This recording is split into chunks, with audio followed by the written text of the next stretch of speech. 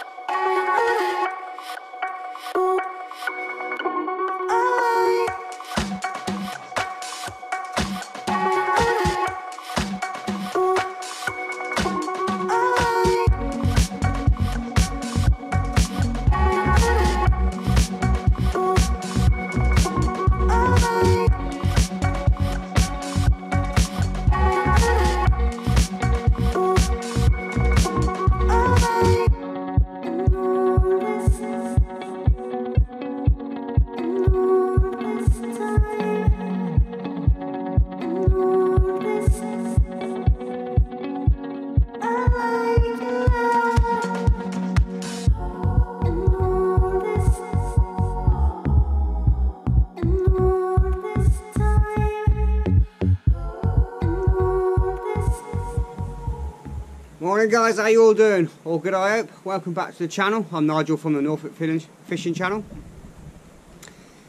Today, or this morning should I say, because it's bloody early, we're out at Gorleston Pier.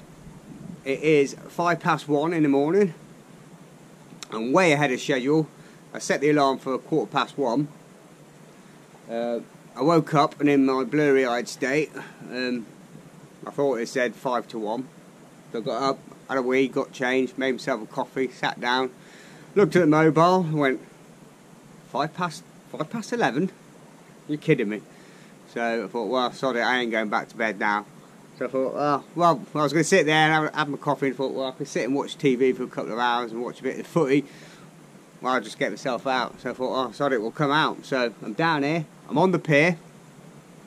It's uh, Monday the 24th of June it's absolutely flat calm, very little wind, still about 16 degrees.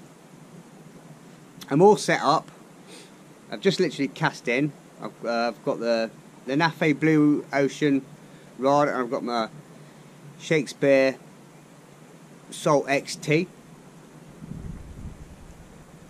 That's with the pulley rig and I've just put a 3.0 Cox & Rawle dongle on there with a big bit of mackerel and squid and I've got a two up and one down on my other rod.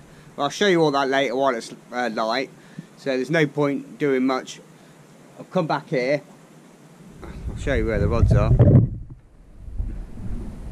In the distance there, yeah, I've slackened the clutch right off and put a bungee on it. Full moon tonight. So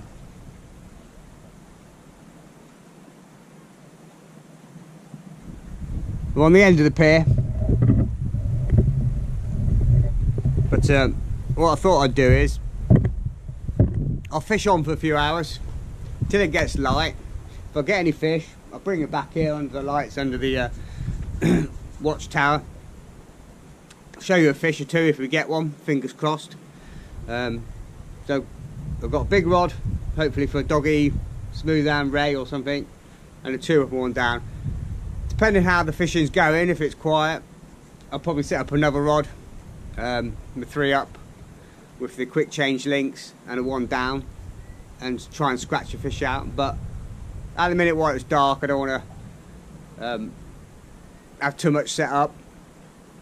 It's low water this morning at about five past five, ten past five. So that's why I originally wanted to set the alarm for about quarter past one and get down here for about three, the last couple of hours of the ebb and then be fishing on the flood all day. So I've got four hours left at the ebb and then it'll be uh, say low water about five past ten past five this morning and then be fishing on the flood. So if I get any fish, I'll see you in a little bit. Okay, the rods are out. Dongle rig on this one, big bait.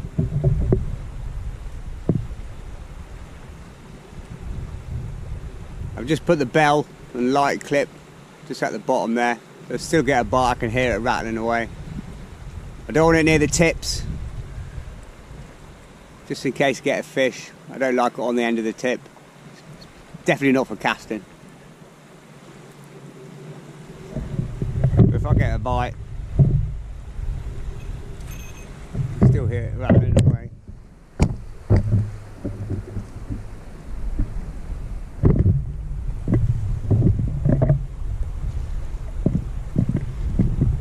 we've got this one out as well. I've got five ounces on this, it's holding.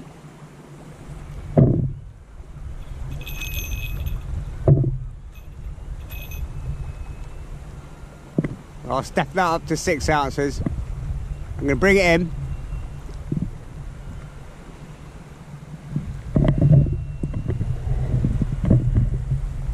I'm going to bring this one in, step it up to six ounces, and then I'm going to put lugworm and squid on the top two, and then just a bit of mackerel on the bottom.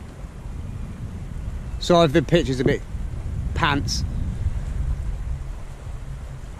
But as I say, if I get a fish, I'll take it under the lights, you'll see it. And then uh, come about three o'clock as the light starts cracking, then I'll probably pop a, you know, start filming properly.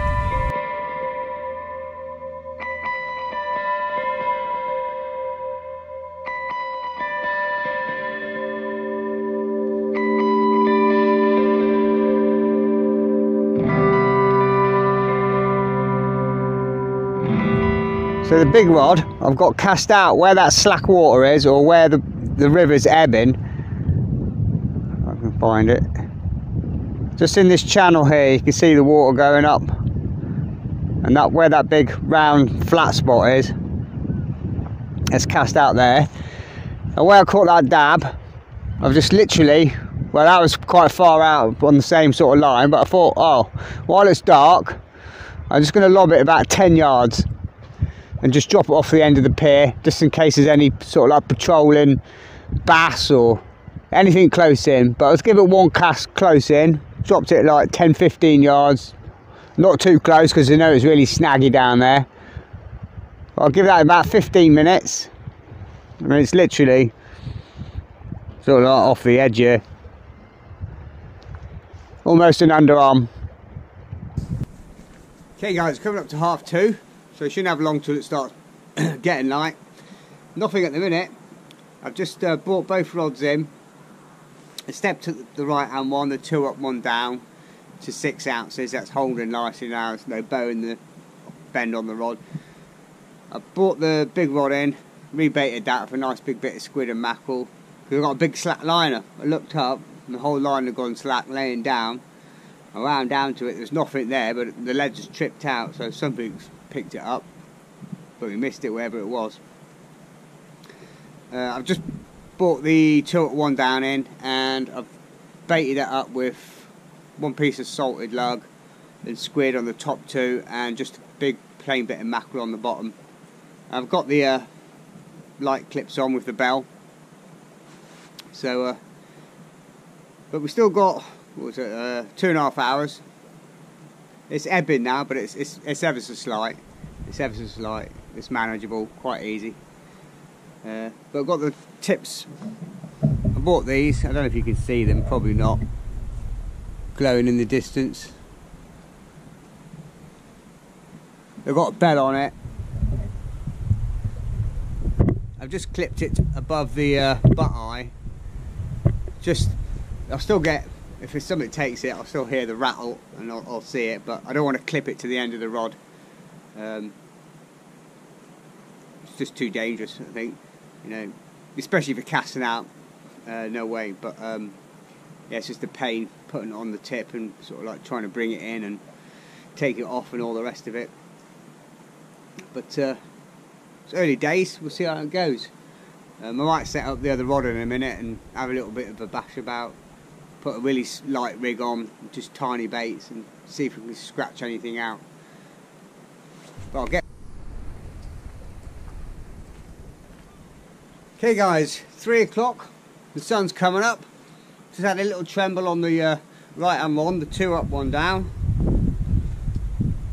and a nice dab. Immaculate that is. Nice plump fish. Little red spots all over it. Go off the mark. Yeah, it's a lovely fish. But uh, strangely again, last couple of sessions are getting them all on the bottom. That was the one below the lead, just on the straight mackerel. Nothing on the salted lug. But I keep getting a couple of knocks on the big rod, which is uh, encouraging. Twice now, we've had a big slack liner. So I might take the dongle rig off and uh, go for a pennel, um, just smaller hooks, see if we can connect with something. But we'll get this one straight back, straight over the edge. You see the sun's coming up there.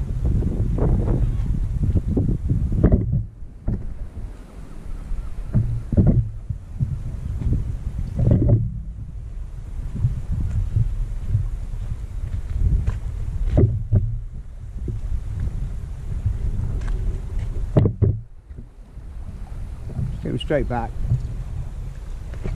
Over the side, blanc. Woo, we're off the mark. Up and running.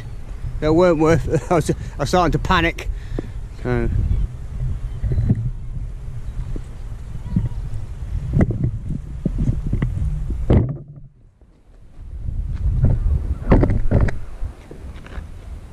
Right, we're off the mark, we're up and running. Let's get the rods back in. Okay, I've just put that fish back. Just had a recast. I put mackerel on the bottom hook, mackerel and squid on the one above the lead, and salted lug and squid on the top. Well, I'll give that about 15 minutes down there. If nothing, I'll cast it back out long again. But it looks like it's going to be another glorious day. So I'm glad I brought this body warmer with me.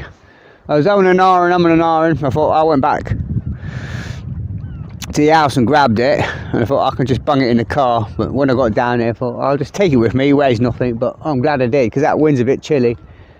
You always get it on the end of the pier here. How you all doing anyway? What you been up to much? Anyone been back out on the rivers? River Yare, River Thurne, River Bure?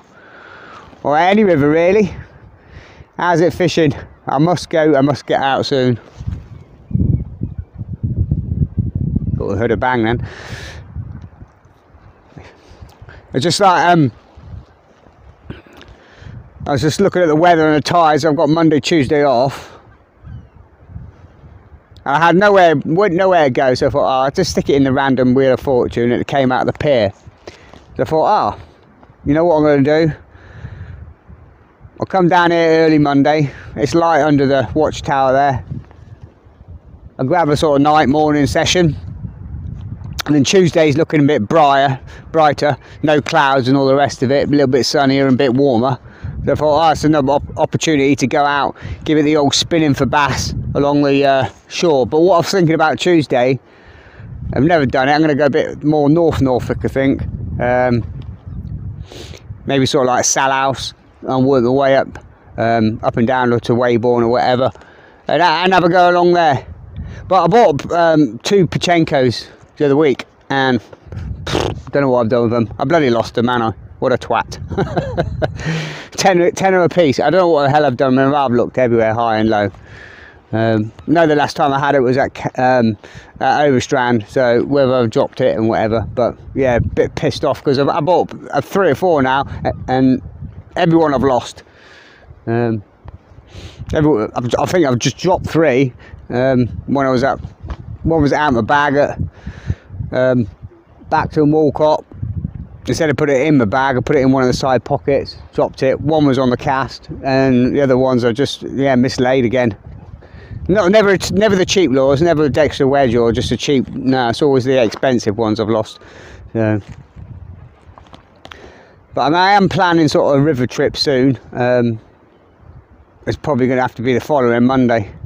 But uh, I'll have to get my arse into gear and get some uh, maggots and casters and start prepping some hemp and tares and that for the whip and bits and pieces. I mean, I've got bucket loads of ground bait and, and all the rest of it, but uh, yeah, the river's calling now. But at the minute, I'm still in love with the sea fishing, still in love with the beach fishing. I think it's my number one now, for whatever reason. It's just, it just is. Got a place in my heart at the minute.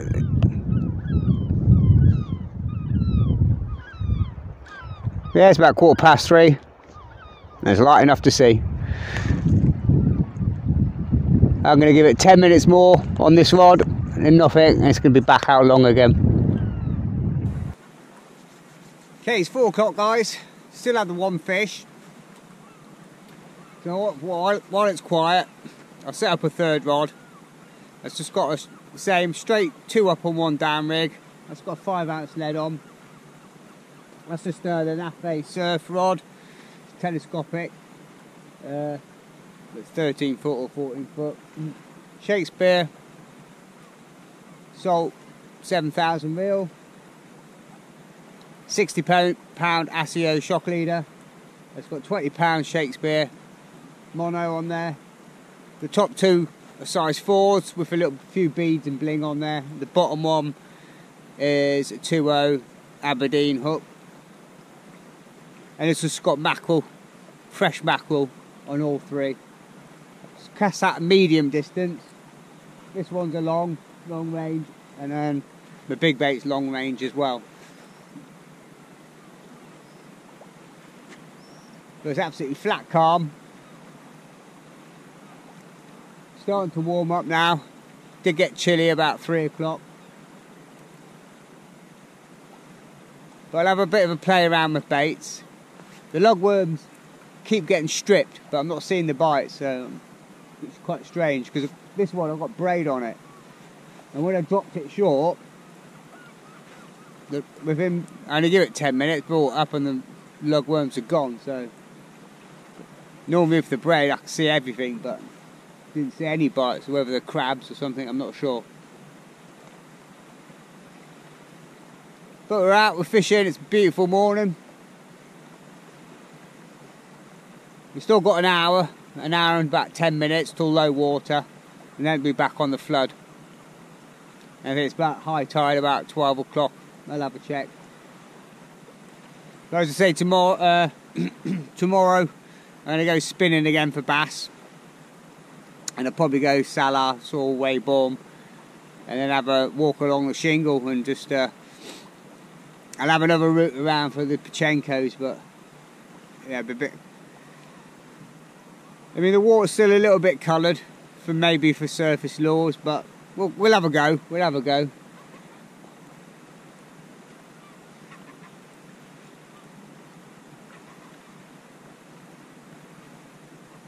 I thought I saw some. No, no, it's just a surf.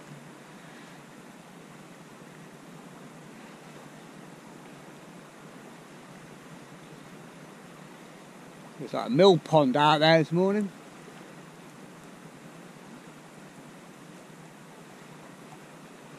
That tide's just slackening off now. I did pick up for an hour from about three till four. It's just starting to slacken off now, so it's obviously getting to the bottom of the tide.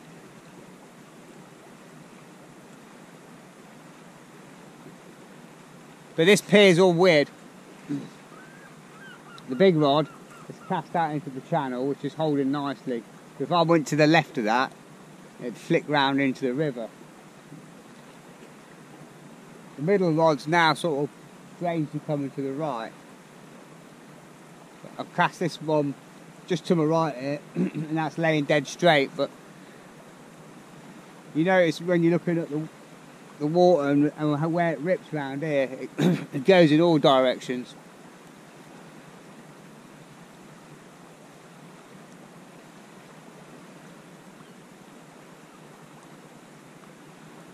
But still the doors, you may never know, might start coming back on the flood. And hopefully a few whiting at low water. But I've got the option here, there's no one here at the minute. And that's why I thought I'd come down here early, spread myself out. and uh, take up as much room as I possibly can. but I can go to the right and cast back over towards the beach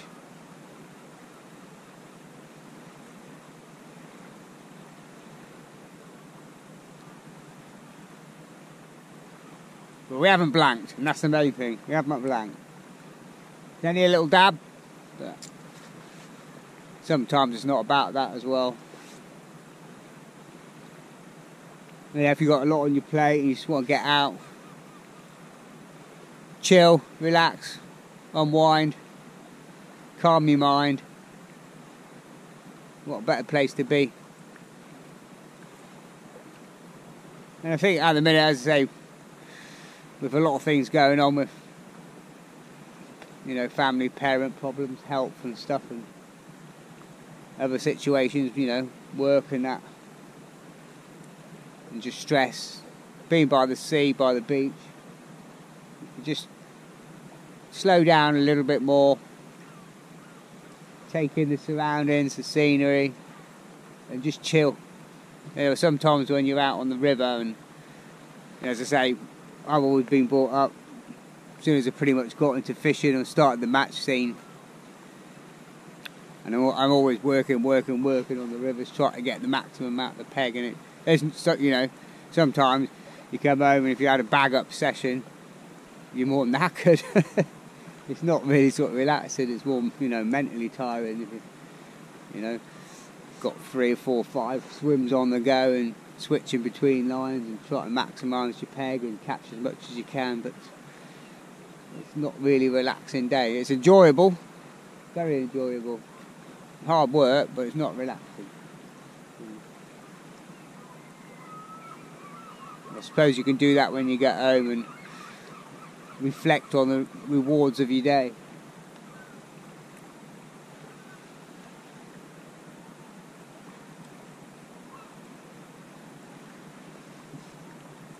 Somebody else has just turned up looking like they're going to fish off the point bit. I expect a few people to turn out still in early doors yet, so. But I keep saying I want to go to the very end where the, the wall is. Fish off of there. Off from there where the beach is. And just cast directly out.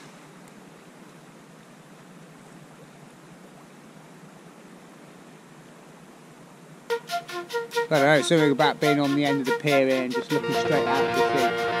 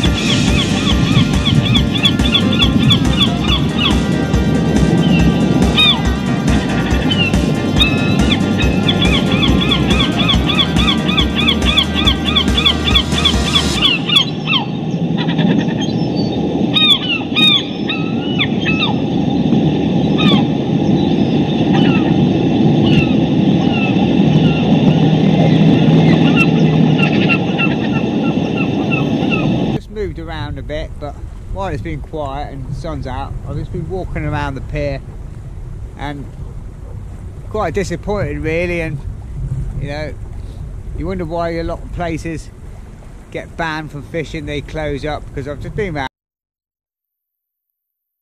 yeah I've just been around the pier. I've been picking a load of handfuls of line. I've got more in the box. I've got about three handfuls of line cut off bits hooks, about six hooks, swivels, beads, lure bits, blingy bits, and just as noticed over there, just sat on the right railings, which I'm going to dispose of. A bloody great knife, just left on the side of the railings. Litter everywhere, beer cans, and it's disappointing, really. You know, it's a shame because it really does give angling a bad name. Um, you know, you don't know kids walking along, anyone can pick this up, but uh, I take it home and dispose of it safely. But there's, there's all sorts on here. There's just bits of line everywhere. There's a good couple of leads are picked up, and it's just, yeah. Well, we know who all the uh, culprits are, but uh, it's a shame really because you've got a lovely place like this, and it only takes one or two wildlife enthusiasts and bits and pieces. You know, if they see birds tethered up or just to put in complaints and give, you know, put a stop to it all. But yeah, it's very quiet still. Still only the one fish, so we'll muster on for another hour and then I'll probably call it quits. But it's quite, it's been really strange. I got here, very little ebb, been slack water for ages and now it's flooding really hard, that's why it moved. And I don't know if it was a tope, but this one here, cast it out, holding lovely for 10-15 minutes, nice gentle bend on the rod, and all of a sudden the rod tip slammed back. I thought I had a big slack line, I looked at the line, the line had gone round the pier here. They're and wounding, I thought, well, this is light, there's nothing on. The whole rig had gone, the whole rig. All I got back was about an inch above the top the snood with the uh, leader knot and a swivel. And it's like something had just come along and bit the line through. It's really odd really odd. Whether a tope or something hit because I had mackerel on the top one so I don't know. It's strange. So it was out for 15 15 minutes 20 minutes nice gentle bend on the rod tip and then it just flew back and then it was all gone very odd oh that's a great white shark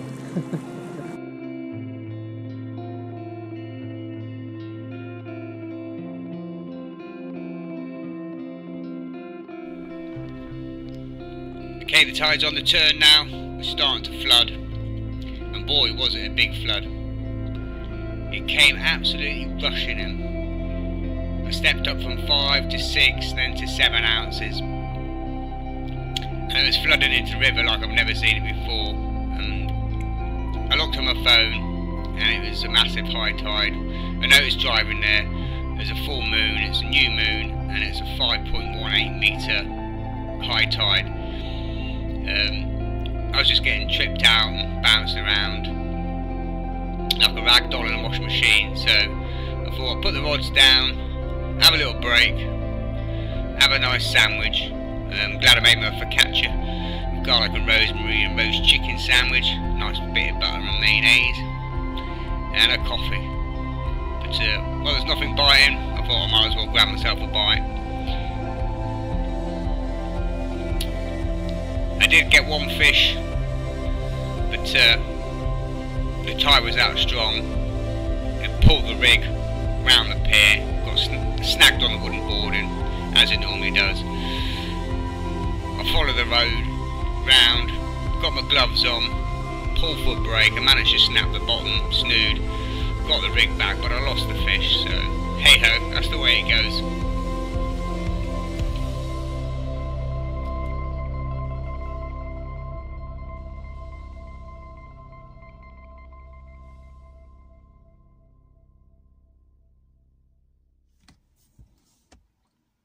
Okay guys, I'm all done. Back at the car. It's 10 o'clock. Uh, that was a really big flood. Really big flood. Powerful. It was lashing into the river. I just looked on my phone. It's a 5.12 metre high tide today. So it's going to be a really big tide. A couple of times the lead tripped out and bounced around the pier. Uh, just on the end there. I brought both rods in. Just left the two up, one down rig on. It was slammed over. Connected to something. I think it was just a small doggy got got it all the way back to the pier, but the tide was rushing round. I could see the top two snoods, something on the bottom one, but it, got pulled underneath the bloody pier again, snagged up. So I let the line go loose, followed it round the pier, put my gloves on, and just uh, grabbed the leader and pulled for it. Um, managed to break the hook link. Lost whatever was on, but got the rig back. But yeah, just the one fish. but uh, oh, it's a totally different day here. You get back to the car behind the here out the wind. It's a totally different day. It's bloody boiling here, but that wind's fresh off the end of the pier. But just one dab. That's the way it goes. That's fishing for you. I Suppose at the end of the day, um, we go fishing for the enjoyment, really, don't we? That's that's what it's all about. Going for the enjoyment factor, day out, sit and relax and enjoy enjoy the day more than anything else. Fish is a bonus, but that's it. I'm afraid. Tight lines. Take care. All the best, and I'll see you in another video.